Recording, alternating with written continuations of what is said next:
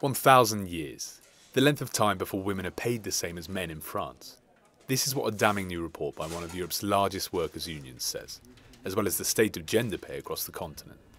The organisation's research shows that the EU's gender pay gap won't be eliminated until at least the beginning of next century. In some of the EU's wealthiest countries, the difference in pay between men and women is the highest.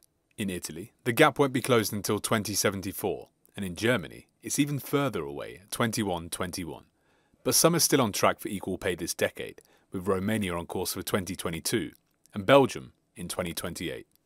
Opinions on how to bridge the gender pay gap are divided, though, with legislation the main course of action for some. There needs to be binding regulation to um, to make pay transparency an obligation on the employer. It can't be that we all sit around um, and have to wait until by accident we find things out.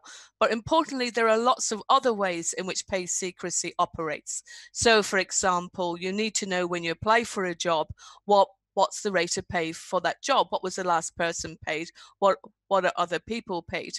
Others, however, feel that the issue must be tackled at a grassroots level. The main issue that needs to be addressed is to address the issue of gender stereotypes. And this starts very early in our societies. I mean, it starts with kindergarten, um, when uh, we don't have enough childcare infrastructure in Europe so that the women and the parents can work. Um, we then have problems in education, education systems where there is not enough awareness on trying to progress towards gender equality. So there is a lot that can be done on raising awareness uh, in society on those stereotypes.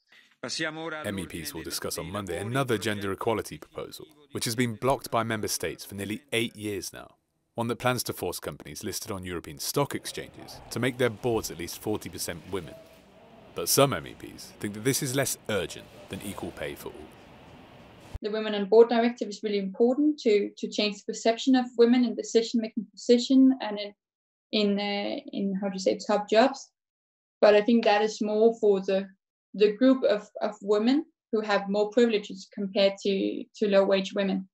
No matter where people stand on the issue, few will be arguing that Europe is ahead of the gender pay gap. And with the von der Leyen Commission arguably the most pro woman administration ever, women across Europe will be hoping the gap will close soon. Christopher Pitchers, Euronews, Brussels.